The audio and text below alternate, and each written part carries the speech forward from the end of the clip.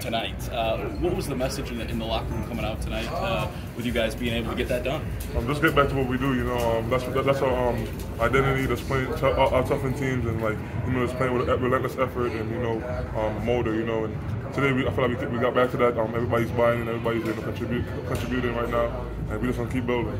And you talk about that contribution. Jacob Grandison obviously yeah. knocked down some threes. You guys never lost faith in him. How, how nice is it for a big man to see uh, some of his wing players knock down those shots to open things up for you? I'm really happy for him, man. You know, Jacob, like the other day when we, we, we lost to Rutgers, um, he got back to the gym and we got back really late. And, you know, when I FaceTimed him because I had some food for him, um, he was in the gym shooting, you know, at whatever, 1 o'clock it was, you know. And to see him, you know, knock those down, he really deserves it. Um, with the way he plays, he plays really hard, and he works on his game um, a lot, you know, so he really deserves that. Kofi, what is it? Uh, what? Second half, he got caught, and now, okay, I can put some, I can one shots down the second half. Yeah, definitely. Whenever my guards are shooting and they're hitting, they're hot, um, it really opens up a lot for me. And, you know, that's the appreciation I got to show them. Like when I got the first look and I picked it out the Jake and hit that shot, you know, I got to make sure that they know that I appreciate them whenever they, whenever teams double down and you know, to, underestimate them basically. So it's really good when they shoot the ball well. What, what is it about the Rutgers game? Was sort of a continuation of you guys were playing flat a little bit from a couple games in a row. Just how did you fight against that? Um, the beginning preparation, you know, um, we really prepared well for this game. Um, we just like being aggressive in practice and you know challenging each, each other and just pushing each other. You know, not just walking through and like you know just being mentally sharp and being physically like active. You know, and it showed today. You know, that, that's the way we got to prepare every day. You know, because teams are really tough in the Big Ten. You can't win just by shooting the basketball and playing offense. You, you got to win on the defensive end. So just keep preparing the same way we did. You guys have been around each other for a long time. What is it about? Kind of building this thing up with each other that allowed you to respond. I mean, coach really challenged you guys? How did you? What allowed you to respond to that?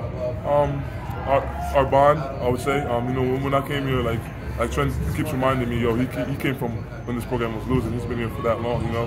And you know, to be able to be a part of, you know, helping him, like we we shared this program and bring it back to winning. Um, it's really important for me to continue doing that while he's here, you know, because that's my guy. And like like I said, he worked really hard. You know, he's been through the worst. You know, and like to see him and Monte and those dudes come out come out of it, and now we're really successful. It just drives us to be to be more like active and be more like you know you know want more. So my team has definitely motivated me. Did you know that shot was going in when he took it? I definitely I believed in it. You know, Trent. He, he, he's built for moments like this, man, and he's showing it over and over again. You know, I keep telling him that whenever he gets on his leaders, you just got to be confident and knock the shot down. You know, so whenever he threw it up, in my mind, it was going in. You know, so you take that shot 10 out of 10 times. If you looked like you were hunting Georgie afterwards. Yeah, that's.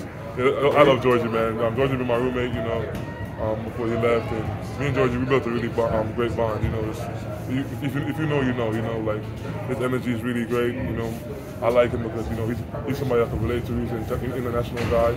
Um, you know, and he's been through some stuff, you know, so we always share those moments and share those um, those um, share those like stories and stuff, and you know, it's been fun being around. Seemed like Georgie sitting behind the bench was the same as Georgie on the bench, just flexing, you know, screaming out, "Let's go!" Did you hear him? Like, yeah, I definitely heard him, man. That's what he does, man. Every time, you know, that's just his energy. You know, he brings that great, you know, that great vibe. You know, whenever he's like, he's a really good competitor. You know, he always wants like his guys to win. You know, so he brings that energy every time.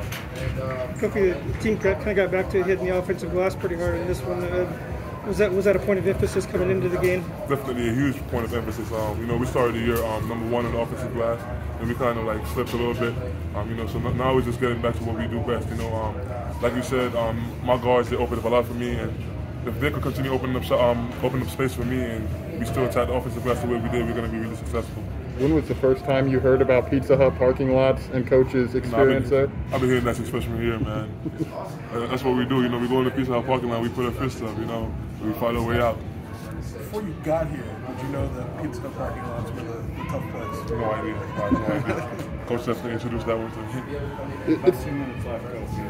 Started the attention of fouling Kofi putting on the line. Was there a calming effect? I think those two, what kind of doing nuts. It felt like you got you took a real big deep breath after that second. Coach called me. Coach called me a coward. He called me out the other day. He said, you know, like I can't step up on the line. You know, after I, I, I practice on my free throws a lot, and I make 89 out of 100 in practice. You know, so he basically called me out. He said I'm a coward for not being mentally tough enough to go there and knock it down.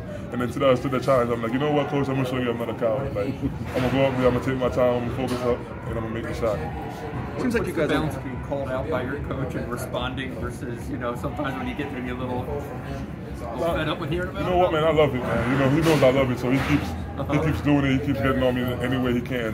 Like that man, will- I would get, I would have 20 and 10, and he will get on me. Yo, why didn't you have 25 and 15? Like he's never satisfied with me, and he keeps pushing me. You know, and I like, I love that energy. You know, I love that. That, that makes me know that you care about me. You want me to be great.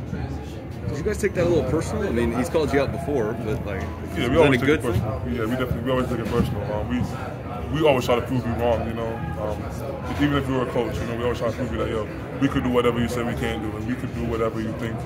You, you, we, we do whatever it takes to win. You know, and we, we all step up. Trent Trent gets called out, everybody gets called out, and we always step up. Down the stretch, how important is that mindset? You guys have seemed to play well when you're, you know, hunting this season. Yeah, that's been another emphasis on. You know, closing out games. Um, you know, we really take great importance in that because in the Big Ten, like you know, um, a lot of games are decided two or less possessions. You know, so it's all about being mentally sharp in those last two minutes and closing out the game the right way to get a W. What is it about having something as simple as Pizza Hut? Like I assume if coach says that, you guys obviously know what he means. But how important is it to have something so simple that it clearly it means a lot in the in the building? That's really important, man, because now you don't have to do too much. You don't have to go through everything that happened before. Now you just you just say that one word, and you know it's like a trigger. Like you know, it's like like you got your you, like you got a dog, and you say, yo, you give him a command. Like you, once you hear that, it's like it's just instinct. You know, it just takes over. Like oh yeah, piece up, let's get it. Like you know, so it's really great having that. You know, just one word gets us going right away. Kofi Trent 12 points in the second half, all his points. What's it mean to get that kind of boost in that last shot? Yeah, man, it, it still comes off, you know, just stepping up and, you know, like, you know, just having a peer, you know, it's like, he's been through a lot, you know, he's been there for, for five years now and he knows what it takes, you know, he has great confidence in himself and I have confidence in him to go in there and, you know, take those shots even, even after missing them, you know, and it's hoping, and, and it's not hoping, but like, it's knowing that you're capable of making a shot. Is it late enough in the year that you guys are you know, getting on a on a bus, whatever, and saying, okay, Purdue did this, Wisconsin did this, you know, this team did that, or, or are you, you con- constantly aware of where you are in, in position to win win the league? Yeah, we are. Yeah, you know, coach does a really good job of you know um, letting us know, yo, you're in first place, you're fighting for something. Like just basically reiterating everything, you know, making us remember that yo, we're playing for something great right here. You know, so we always know where we stand.